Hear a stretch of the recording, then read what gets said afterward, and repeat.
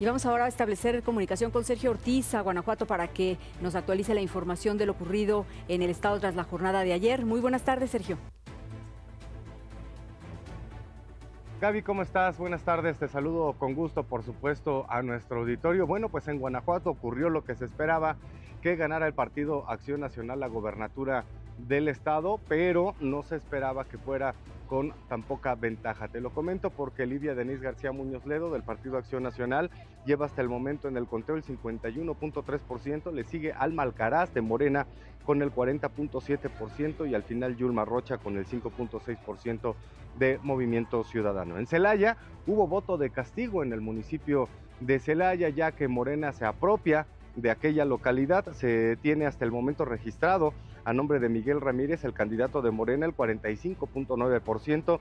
Le sigue Javier Mendoza, alcalde con licencia del Partido Acción Nacional que cuenta solo con el 34%. En León, Alejandra Gutiérrez Campos, alcaldesa también con licencia, ella sí gana como pues se acostumbra en el estado de Guanajuato por parte del Partido Acción Nacional con una amplia ventaja.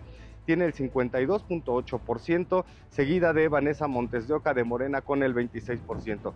Vale la pena resaltar a nuestro auditorio y señalarlo que Ricardo Sheffield eh, Padilla gana esta elección rumbo al Senado de la República con el 42.9% en contra de Miguel Márquez Márquez, exgobernador del estado de Guanajuato y una figura muy importante en el panismo aquí a nivel estatal. Bueno, pues Miguel Márquez solo logra el 39.7%.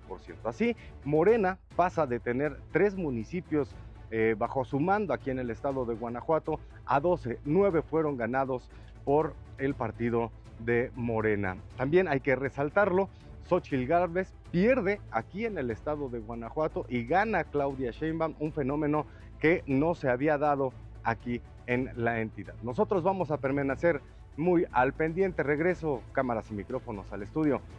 Que tengan muy buenas tardes. Buenas tardes para ti también. Gracias por el reporte.